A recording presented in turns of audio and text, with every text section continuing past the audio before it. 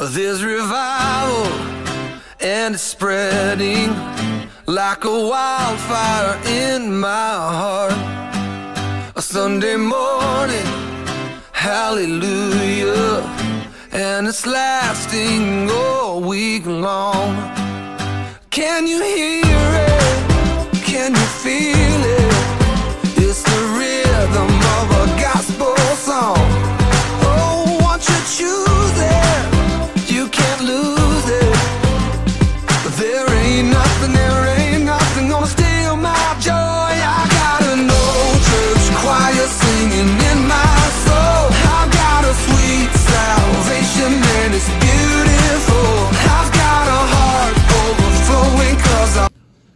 Hey, what's up, my peeps? It's Life Group time, and uh, just want to give you that passage for the week. But before we get into it, uh, let's talk about some announcements. Hey, I heard you guys were present and accounted for this past week. Uh, some of you may be missing in action. Hope you guys will get back in the swing of things this week. This is our last uh, week of dated every day uh, hanging with Jose. Uh, got something special for you. Uh, look for the text, the group text. Uh, we're having an activity. I'll just put it this way: we're gonna get wet this week. So uh, I will probably shoot a little quick, crazy video, uh, just kind of promote that a little bit. But plan on showing up tomorrow at the FLC. We're gonna do our uh, typical Devo. Um, we will have the Zoom calls this week since I'm back in town, uh, so we can connect through Zoom. And then um, as we go about the day, we will uh, do our. Uh, uh, we've got probably just a couple of little service project type things that we need to do this week. Get those things knocked out, and then that last hour, we're gonna step outside I'm gonna squirt you in the eyeball. So just come on and bring it. If you got a water gun, bring it. If you don't have a water gun, uh, we will improvise uh, with something. Uh, you may be kind of at a deficit. You may be at a disadvantage. So that's uh, gonna be up to you. You don't have to bring anything fancy. You can go get a couple dollar water guns at the Dollar General or uh, take, take some from your little sister or brother or whatever, borrow from them. Just make sure you ask first. Uh, but bring a water gun and uh, we're gonna have a little surprise for you and have a little fun with that. So uh, probably wanna bring a towel. Uh, do you need a change of clothes? I don't know if you'll get that wet, but you never know. So you may wanna just uh, plan on mom and dad when they pick you up, bring a garbage bag to sit on or uh, bring that extra towel to sit on or whatever. But we're gonna get wet this week. So just plan on that and uh, we'll go from there. Also some big things are gonna happen this week. We're gonna make some uh, major determination on what's gonna happen with July. Uh, I know I got a couple of dates that we're going to have to shift around. Uh, specifically, the uh, Real Days of Summer date is scheduled for July 22nd. Uh, I'm not going to do it that day. One, it's uh, VBS week. Uh, so we'll push that to the 15th. That 15th is actually a Hanging with Jose date. So we may just combine our Hanging with Jose with the Real Days of Summer, and you'll be hanging with Jose during Real Days of Summer. So I'll give you information on that, but I've got to make sure that all risk factors are accounted for, just what the numbers are going up, because we're planning on going to River Market. So um, uh, all that to say, plan on this Wednesday, um, there being a determination uh, being made. Uh, if we are going to go, then I will post a registration event, very much like our camp event. You can register online. Uh, you'll have to register before next Sunday. So you've got a week to register, uh, more or less. Actually, you only have a few days. Uh, it'll be a week from today. But um, I'll post that, let you know kind of a go, no go as soon as I know. I'm supposed to be meeting with the pastors this week. We've all kind of be back in town so we can kind of talk through some things. Talk about camp, if we're going to have that overnight option. Uh, camp registration is still open. Um, and uh, we'll talk about some things like, you know, right now we've got a JV for two and a half days, senior high, uh, two and a half days. Uh, we may have to split that up even to smaller groups and do two day camps. But those are all things that uh, we're going to consider and talk about. Uh, we knew that that potentially may happen. I kind of talked about that early on. Uh, we just got to, like I said again, just assess, uh, make sure that risk is negated uh, as best we can, and make sure that we do what's appropriate. So right now, uh, just plan on camp still being what it is.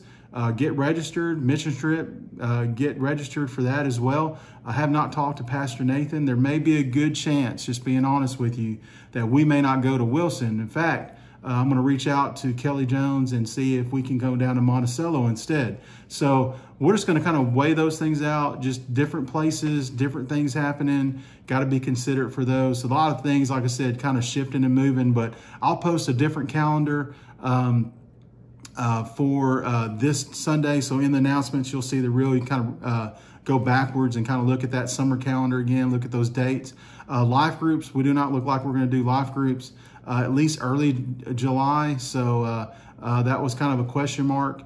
don't expect that to happen until later in July. So as soon as I know about that, I'll let you know. July 1st, though, is a key date. Uh, that's a week from this Wednesday. And that's kind of the challenge I've been giving you for the last two, three weeks is this, that if you guys uh, connect and bring in the numbers, I'll kind of announce what that number is once I know that that date's firmed. Uh, my student leadership kind of uh, been voting on uh, what they feel like is appropriate as far as a number. Uh, right now, we're looking right around 50. So if you can bring 50 people here, then uh, we've got uh, kind of a reward set up for you guys for bringing that in.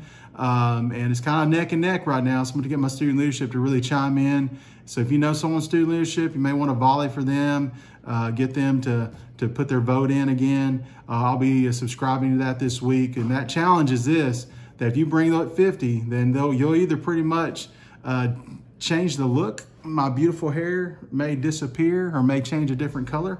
Um, or right now it looks like we may do a really fun game. We may have some things that uh, we have options that we talked about uh, from a huge slip and slide to uh, look at some other fun game. Uh, we may even do an organized laser tag or water gun fight or whatever like that with some really powerful water guns that we'll rent uh, from another company, that kind of stuff, or battle ball, things like that. So talk to your student leadership team. If you're on student leadership, respond to my text. So we'll be sending those out this week, but uh, we'll we'll set that date. If that date's going to be July 1st, uh, here's what I want to hold on to. Uh, I, just, I really want to get everybody together.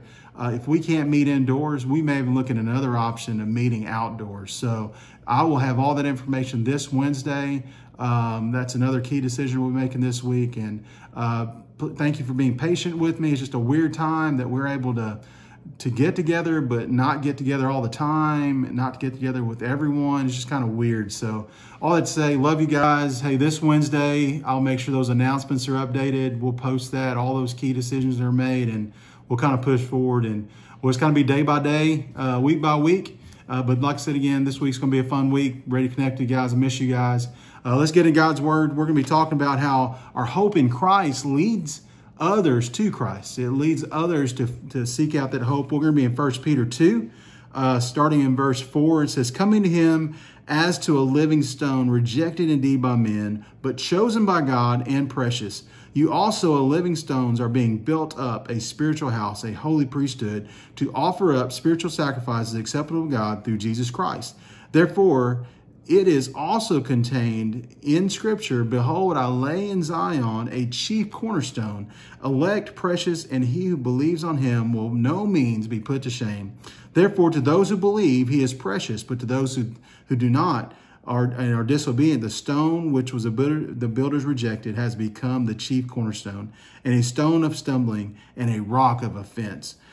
They, stumbling, being disobedient to the word to which they also were appointed, but you are a chosen generation, a royal priesthood, a holy nation, his own special people, that you may proclaim the praises of him who called you out of darkness into his marvelous light, who once were not a people, but are now the people of God, who had not obtained mercy, but now have obtained mercy. Beloved, I beg you, as sojourners and pilgrims, abstain from fleshly lusts which war against the soul, having your conduct honorable among the Gentiles, that they speak against you as evildoers. They may, by your good works which they observe, glorify God in the day of visitation. Therefore, submit yourselves to every ordinance of man for the Lord's sake, whether to the king as supreme, or to governors as those who are sent by him for the punishment of evildoers, for the praise of those who do good. For this is the will of God, that by doing good you may put to silence the ignorance of foolish men.